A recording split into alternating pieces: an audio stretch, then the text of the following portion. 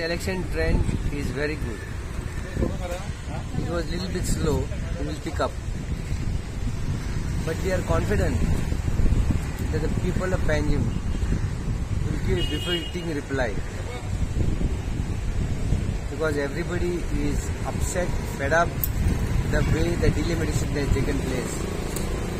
The way the families have been split. If you go to Pai Bhavan, in one family there are three corporators. So this is delimitation.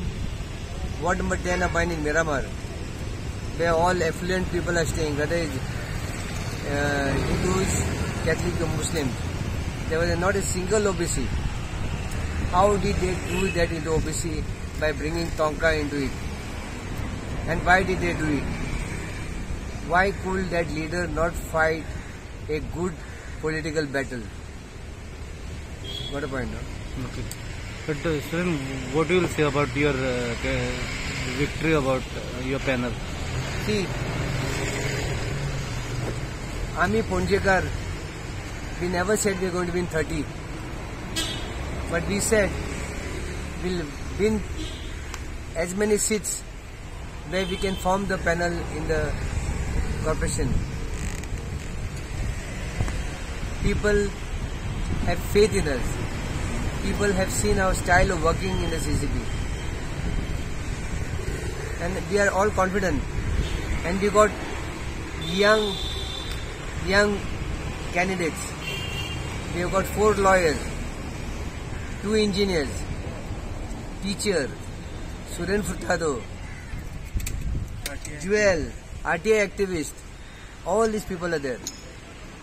And Panjim, Panjimites should look forward to this young generation. Suren, there was issue yesterday night. There was no issue. Uh, We were told that my opponent, along with three ladies, were distributing money. So I, along with my uh, driver, my election agent, and one one of my friends, we just took a round. We saw what was going on. But we are not that niche type of people. We are people who fight politics properly. They're not the people who go and complain. You see, when you complain, it shows that you're weak. It shows that your trend of- is of losing. And that's what they showed last night.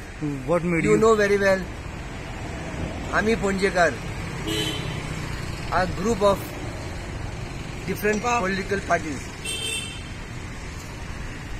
like AAP, Congress, BJP.